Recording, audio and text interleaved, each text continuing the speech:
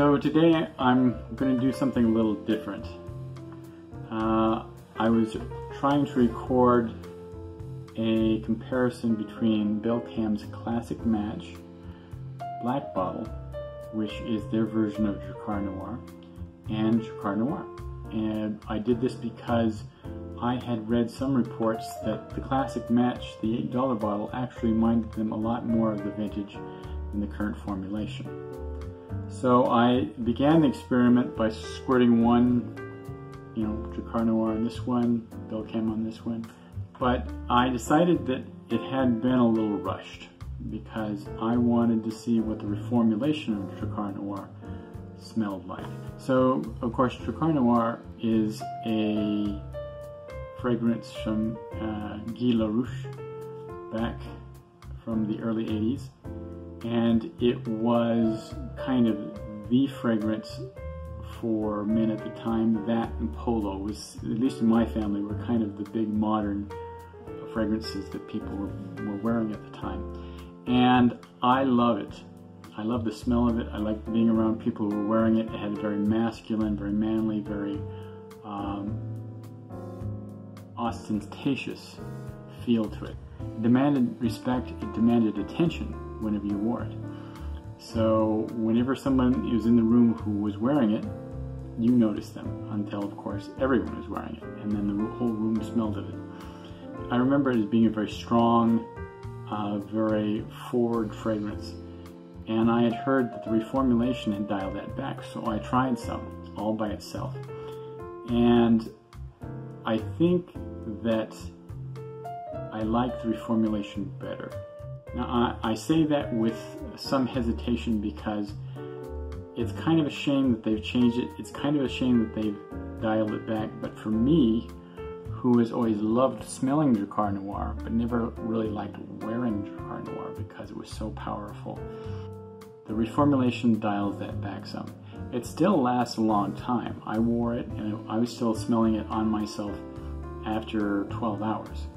But I really didn't enjoy it until about the seventh, eighth hour because that's when it kind of dialed back and then mellowed out to a place where I was kind of digging it. Before that, it was just a little bit heavy for me, even then, even in the reformulation. I think it has to do with something with a very forward uh, cardamom note and uh, something about that note I just don't particularly care for. I mean, I, I like smelling it, but I don't, don't like smelling it all day. Once I had finished that experiment and noticing that it did last pretty long and that it was fairly strong, uh, now I'm going to compare that to the Belcam. Even stating that the formulation is fairly strong and has that strong cardamom note. Classic Match is still stronger. It's more pungent, it's a little sharper, and if you ask me how I remember Drakkar Noir, this does seem closer to the memory. Uh, it grabs your attention a lot more than the current formulation, which seems a little bit more sedate, one might say more refined. But this this hits the memory notes a little stronger than the, the current formulation. It lasts maybe a little less than the current formulation, which is like 10 hours, so I have nothing to complain about. And it is stronger in projection than the current formulation. Again, some of the notes are sharper. So um, I would give the reformulated version a 3 out of 5.